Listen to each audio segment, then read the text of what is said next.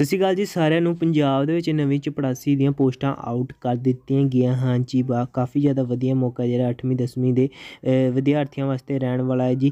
Peon ਅਤੇ MTS ਦੀਆਂ ਪੋਸਟਾਂ ਆਊਟ ਕੀਤੀਆਂ ਗਈਆਂ ਹਨ ਜੀ। ਸਾਰੀ ਡਿਟੇਲ ਇਨਫੋਰਮੇਸ਼ਨ ਤੁਹਾਨੂੰ ਦੇਣ ਜਾ ਰਹੇ ਹਾਂ ਕਿ ਕਿਵੇਂ ਤੁਸੀਂ ਫਾਰਮ ਨੂੰ ਅਪਲਾਈ ਕਰਨਾ ਹੈ ਤੇ ਕਿੱਥੋਂ ਤੁਸੀਂ ਫਾਰਮ ਡਾਊਨਲੋਡ ਕਰਨਾ ਹੈ ਜੀ, ਸਾਰੀ ਡਿਟੇਲ ਇਨਫੋਰਮੇਸ਼ਨ ਦੇਣ ਜਾ ਰਹੇ ਹਾਂ।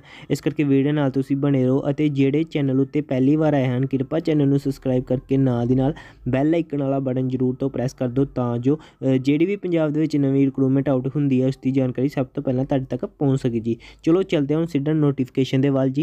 ਇੱਥੇ ਤੁਸੀਂ ਦੇਖ ਸਕਦੇ ਹੋ ਰੂਪਨਗਰ ਰੋਪੜ ਦੇ ਵਿੱਚ ਇਹ ਪੋਸਟਾਂ ਆਊਟ ਕੀਤੀਆਂ ਗਈਆਂ ਹਨ ਜੀ ਜਿਹਦੇ ਵਿੱਚ ਕੰਪਿਊਟਰ ਆਪਰੇਟਰ ਦੀ ਇੱਕ ਪੋਸਟ ਕੱਢੀ ਗਈ ਹੈ ਜੀ ਜਿਨ੍ਹਾਂ ਦੀ ਸੈਲਰੀ ਹੈ 14124 ਰੁਪਏ ਰਹਿਣ ਵਾਲੀ ਹੈ ਜੀ। ਇਹਨਾਂ ਦੀ ਜਿਹੜੀ ਜੋਬ ਲੋਕੇਸ਼ਨ ਹੈ ਚੰਡੀਗੜ੍ਹ ਤੇ 6 ਮਹੀਨੇ ਵਾਸਤੇ ਇਹ ਜੋਬ ਹੋਏਗੀ। ਉਸ ਤੋਂ ਬਾਅਦ ਪੀਐਨ ਦੀ ਜਿਹੜੀ ਇੱਕ ਪੋਸਟ ਕੱਢੀ ਗਈ ਹੈ ਜਿਨ੍ਹਾਂ ਦੀ ਸੈਲਰੀ ਹੈ ਅ, 9562 ਰੁਪਏ ਹੋਏਗੀ।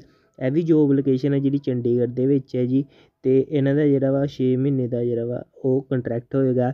ਉਸ ਤੋਂ ਬਾਅਦ ਐਮਟੀਐਸ ਦੀ ਇੱਕ ਪੋਸਟ ਆਊਟ ਕੀਤੀ ਗਈ ਹੈ ਜੀ ਅਤੇ ਇਹਨਾਂ ਦੀ ਜਿਹੜੀ ਸੈਲਰੀ ਹੈ 9286 ਰੁਪਏ ਹੈ ਜੀ, ਠੀਕ ਹੈ ਜੀ ਅਤੇ ਇਹਨਾਂ ਦੀ ਜਿਹੜੀ ਹੈ ਜੋਬ ਲੋਕੇਸ਼ਨ ਉਹ ਰੋਪੜ ਦੇ ਵਿੱਚ ਹੀ ਹੋਏਗੀ ਜੀ ਅਤੇ ਇਹ ਇੱਕ ਸਾਲ ਦਾ ਜਿਹੜਾ ਕੰਟਰੈਕਟ ਹੈ ਜੀ, ਇਸ ਦਾ ਜਿਹੜਾ ਵਾ ਉਸ ਤੋਂ ਅੱਗੇ ਇਸ ਦੀ ਜਿਹੜੀ ਐਪਲੀਕੇਸ਼ਨ ਫੋਮ ਹੈ ਜੀ, ਉਹ ਇਹਨਾਂ ਦੀ ਅਫੀਸ਼ੀਅਲ ਵੈਬਸਾਈਟ ਤੇ ਜਾ ਕੇ ਥੱਲੇ ਇਹਨਾਂ ਨੇ ਮੈਂਸ਼ਨ ਕੀਤੀ ਹੈ government dot in dot Chandigarh recruitments ਇੱਥੇ ਜਾ ਕੇ ਤੁਸੀਂ ਜਿਹੜੇ ਆ ਪੂਰੀ ਇਹਨਾਂ ਦੇ ਐਪਲੀਕੇਸ਼ਨ ਫੋਮ ਹੈ ਜਿਹੜੇ ਉਹ ਡਾਊਨਲੋਡ ਕਰ ਸਕਦੇ ਹੋ।